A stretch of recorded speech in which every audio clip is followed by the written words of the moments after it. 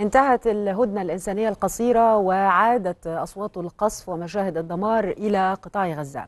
ليكمل جيش الاحتلال الإسرائيلي 61 يوما من عدوانه الإجرامي. ويواصل إبادة المدنيين العزل ليتجاوز عدد الشهداء حاجز 16 ألف شهيدا بينهم أكثر من 7 ألاف طفل وحوالي 5 ألاف امرأة. فيما بلغ عدد المفقودين أكثر من 7 ألاف مفقود تحت الأنقاض وحوالي 43 ألف جريح ومليون و800 ألف نازح أي ما يقارب 80% من سكان القطاع.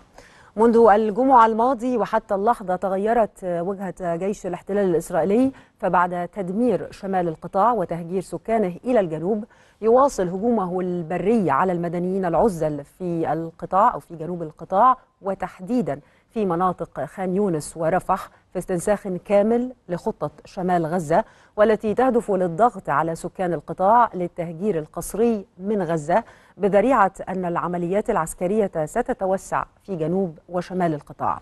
وبحسب تصريحات وكيل الأمين العام للأمم المتحدة للشؤون الإنسانية فإن الحملة الإسرائيلية جنوب غزة مدمرة بنفس القدر الذي كان شمالا وخلقت ظروفا مروعة وأنهت أي إمكانية للقيام بعمليات إنسانية ذات معنى. الوضع الإنساني في غزة كارثي. القطاع الصحي مدمر. 26 مستشفى و46 مركز طبي خارج الخدمة وذلك حسب وزارة الصحة الفلسطينية.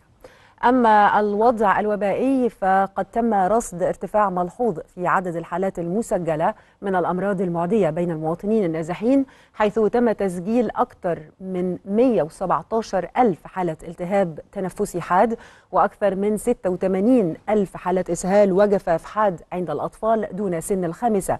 وأكثر من 50 ألف حالة مرض جلدي منها 26 ألف حالة جرب وأكثر من 2400 حالة جدري مع ازدياد في حالات مرض التهاب الكبد الوبائي فيروس إي.